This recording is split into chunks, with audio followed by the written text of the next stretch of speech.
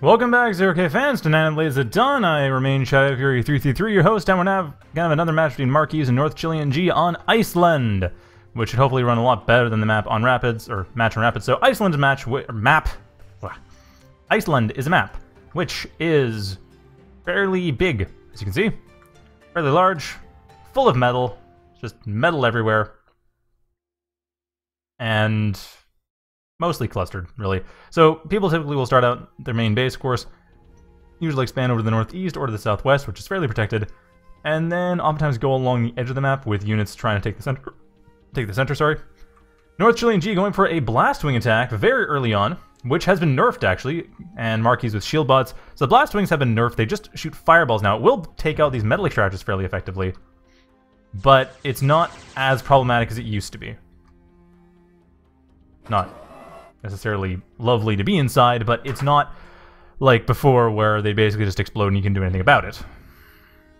All these opening dirtbags are doing a great job of distracting the blastwings and causing them to die unnecessarily, which is really good for markivs. Not so good for North Chilean G, mind you. So markivs starting out in a pretty good position, I'd say, right now. North Chilean G, on the other hand, is not quite so lucky, though able to take out is he to take out the convict? Looks like I might be able to. Are managing to apparently get through the shields completely. Yeah, not full shields and heavily damaged, but not dead. Convict put itself out quickly enough. It's not a big deal. These blast wings being a pain in the butt, pretty much just there just to harass a little bit. The Banshees are the real story. What the heck is in here? Okay, I'm not sure what they were trying to blow up over here, but looks like that was probably a mistake. Marky's fully aware that the... Did that dirtbag just explode in a fire? Oh, no, the blastwing was on top of it. Like, was there a bug with the bla with the dirtbags now exploding with fire? Who did that? What's going on? No, never mind. We're good. It's fine. Panic for nothing. Okay, so, as I was saying, markivs is probably in a better position. They have their anti-air set up. The Banshees are... Banshees are a tricky unit, though. They have a lot of health. Like, 850 health for an air unit is fairly high. Vandals deal 72 damage a shot, 36 damage a second. It'll take them 10 seconds for a single Vandal... Sorry, not 10 seconds. Take like 25 seconds for a single Vandal to take out a Banshee. In that time, the Banshee is going to be dealing... Well, 62 damage per second. But there is enough. So that ban one Banshee's turned away. Yeah, Banshees are a little bit weird. Fighting them almost requires using a bit more in the way of anti-riot, anti-ground forces like Stardusts than it does things like Razors. So they aren't the most straightforward to fight, but they are things you basically have to fight as if they were Raiders. More than anything else. But yeah, it looks like markivs is well set up enough with the Vandals to be able to not have to worry about too much. And that Vandal it looks like the Vandal's guarding the convict, as it should. It's a good Vandal. Yeah, this is where the problem comes in. This Banshee is pretty much unopposed right now. There's not much to deal with it. Now, for shield bots, Vandals are the best option. I think... Outlaws wouldn't have enough range to be worth it. So yeah, Vandals are a good idea. I don't think what else you'd really have, but there's not much. Bandits would work okay. So this force of Bandits and Vandals will work fairly well as an assault force. Although, to be fair, there's not much to actually oppose them. It's like one Lotus, and that's it. North Chilean G is actually fairly open right now. I think they were expecting that pressure to be far stronger than it actually was. So, right now, markivs is in a very nice spot, though they are probably over-investing into anti-air. Hey, they need to have something to do assault with, but hey, Bandit's got free reign on this gunship plant. Like, seriously, the gunship plant's almost dead. It's locked down, and if the Banshees try to save it coming in here, they'll get hit by the Vandals. They should be able to kill the Vandals, but yeah, these cranes looks like they're going off trying to build up an emergency factory. No, emergency metal extractor, not emergency factory. Not what I expected at all. But at this point, North Chilean G getting up an emergency Lotus, which should save it. Ooh, no. Got distracted and got blocked out of line of sight, but just managed to save it. However, that gunship plant is still locked down by the Vandals, or... Yeah, it's still locked down by the Vandals. Vandal's still in range, and North Chilean G doesn't even realize they're there. Well, they should they realize they're there, but they can't see them right now. They can't easily deal with them. So yeah, they're locked down right now. And Vandals in the main base preventing any Banshee counterattack. Nicely getting rid of one of the Banshees outright, completely. So markivs at this point, all they have is this one bit of safe economy, but otherwise, they are really open right now. Actually, okay, outright reclaiming the gunship plant. No, that's not. What? Are they reclaiming the gunship plant or what? That must have been a. That was a misclick. Okay, never mind. I thought, are they reclaiming that just to build another factory? That's not how you usually do it. That's really unusual, but that's. My suspicions were correct that that wasn't what they were planning on doing at all. But at this point, they will want to build another factory, unless the caretaker. Is it going to be used for that purpose? No, just to repair. Okay, there we go. There's the factory. That makes more sense, because, I mean, the gunship plant, it's done. It's totally done. But North Chilean G was able to use that for the cranes to get a lot of economy. At this point, their economy is 5-ish metal per second stronger than markivs. Or Marquises? And markivs not really switching that much to anti-ground yet. I have a couple roaches, but that's not necessary yet. There isn't a crowd of ground units that they have to deal with.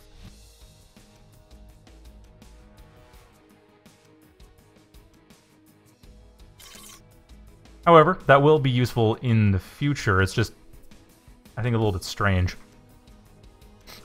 Now, is markivs aware of the... no, markivs is not aware of the Cloakybot factor. They don't know that there's a fact switch. They're probably guessing there is. I mean, they can see the gunship plant. They can see that the gunship plant isn't building anything. So they make the rather reasonable assumption that it's no longer being used. And it isn't. Like, the gunship plant is no longer a thing. As markivs... Oh! Oh! I see what markivs is doing. That's clever. markivs is setting up a sneaky... Well, Sneaky Pete to get an eraser. And basically just going to be rushing in cloaked roaches. Just roach bombing with cloaked roaches. Oh, it looks like not quite as locked down as they thought, so markivs will have to worry... No, never mind, it's still locked down. Okay, North Chilean G just giving up. That wasn't a loss of a unit, they just kind of gave up on it. Why are they going for anti-air? This is really weird. Marquise has not built an air factory yet. Nothing they've done suggests that anti-air is a thing that matters. The Gremlin, I guess, could be used for scouting. Oh, and those ban... Those... Did they see it? Did they see it? They saw it! Okay, so markivs is now aware of the Cloakybot factory. They're aware of what they had to deal with somewhat. Hey, they're using the circle guard function. So they're aware of what they have. They have the eraser, they have the roaches. The roaches are not... They have a weird guard chain on the roaches that's causing them to not follow the eraser when they should. There we go. Now it's correct. Guard that eraser.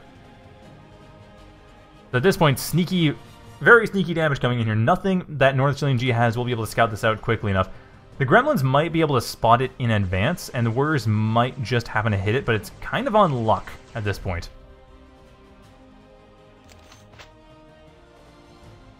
So I don't think... Other than that, yeah, markivs... How aware they are North Chilean G's... Okay, they're not that aware of North Chilean G's movements.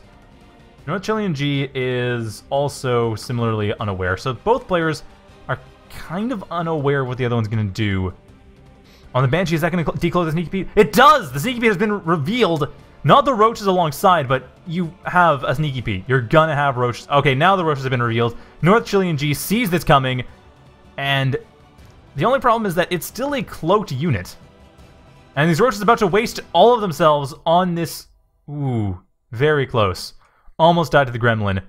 Mark had better be paying attention to this, and it looks like this is going to end now. These roaches are going to... Ooh.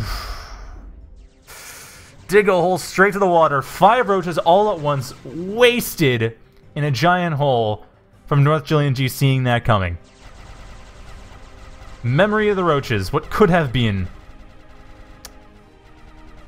Although I kind of find it funny because, and Sketchy's pointing out, could have could have split up the roaches. Well, they could have done if they were trying to be a bit lazy, I guess. Because they clearly know how to use Circle Guard, they were just using it earlier. Would have been to use the Circle Guard functionality on the Roach with the Eraser. So the Roaches just are constantly circling, either circling the Eraser, or I think you hold control while you're doing the Circle Guard thing, and then they stay in place. Like they they go along an even distance around the target, like around the guard target, but they they remain in one spot rather than circling. If if markivs had done that, they wouldn't have made this giant hole in the ground that is of dubious usefulness. And apparently does not receive shadows. Yeah, that's unfortunate. That's really unfortunate. So this giant hole in the ground that did not have to be. Now, Mark markivs, however, does still have a decent economy, but that was a lot of money they threw into that attack. The main hope they have going for them is that North Chilean G is wasting a lot of units, throwing a lot of reclaim at them. But markivs is not able to really maintain a solid economic base.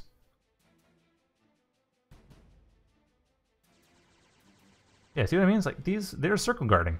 They know how to use circle guard. That would have been perfect for the eraser with the roaches. Because then only one roach, would, one roach would have died at once. But I think what they wanted to do was rush into the main base and then just slam it with all the roaches and dig this giant hole inside of North Chilean G's main base with their commander and possibly the factories in range, blowing up the entire thing. That would have been cool to see. Too bad it didn't happen. So at this point, no Outlaws, no other Riot units. They have the Stardust there, which is probably going to die, actually. There are enough glaives that the Stardust doesn't really pose that much of a threat. And Stardust goes down, killing the commander in the process, Killed by its own dead Stardust. And that's basically game. Yeah, markivs throws in the towel. Ouch. I mean, some clever stuff there, but just didn't work. Still pretty cool end there with the Stardust blowing at the commander. But yeah, that that was that. I mean, nice nice play from both players, though. I mean, that was really good coming in with the Vandals to lock down the gunship plant. And overall, I mean, that bandit was pretty close to destroying the gunship plant, but at that point it didn't matter. However, the roach play was cool. I, it's just, it's one of the things that's really hard to do well. It's really hard to do without it blowing up in your face. And digging a giant hole in the ground. As we saw just there. So yeah, that was... That game's not going to involve these two players. It's in fact going to be between this is the last replay for tonight, too. It's going to be between Icons and Shaman on Ravage, so stay tuned for that. That'll be up in just a moment.